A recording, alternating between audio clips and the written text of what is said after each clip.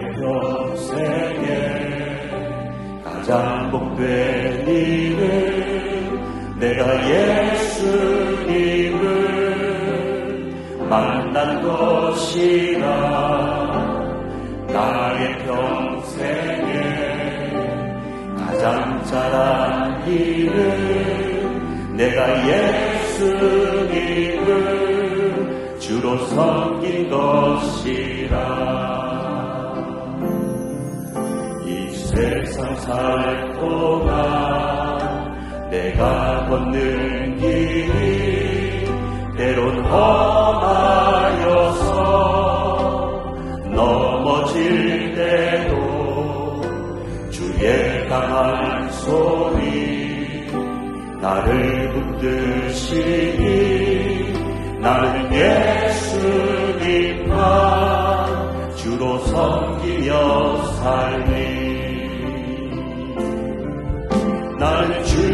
섬기는 것에 후회가 없으리라 내가 걸어온 모든 시간 주의 은혜니.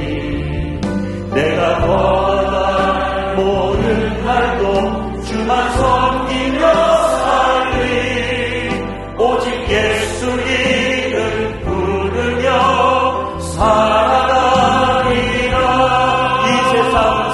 동안 이 세상 살 동안 내가 걷는 길이 때론 험하여서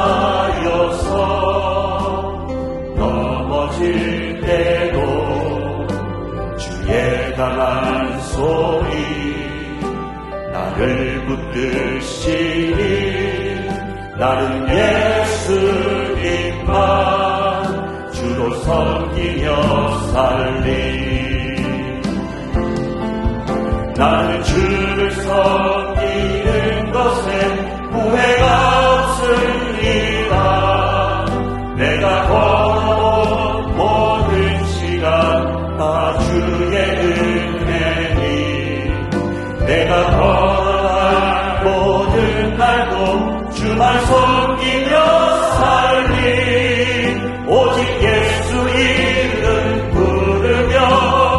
high.